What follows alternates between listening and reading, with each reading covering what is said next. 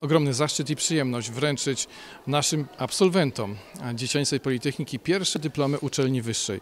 Wierzę, że ten dyplom będzie kolejnym krokiem do tego, aby zdobywać kolejne, na przykład na Młodzieżowej Politechnice Opolskiej, do czego serdecznie zachęcam. E, Możemy tutaj jako uczelnia wyższa pokazywać, że nauka może być naprawdę ciekawa interesująca i wierzymy, że te osoby, które uczestniczyły w dzisiejszym, dzisiejszych zajęciach i całej edycji będą studentkami i studentami na Politechnice Opolskiej albo gdzieś indziej.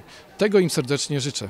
To był mój pierwszy rok. Brat chodził i mówił, że tu jest bardzo miło i można się czegoś dowiedzieć. Że są różne rodzaje robotów, że są ro, e, roboty, które są bardzo podobne do człowieka.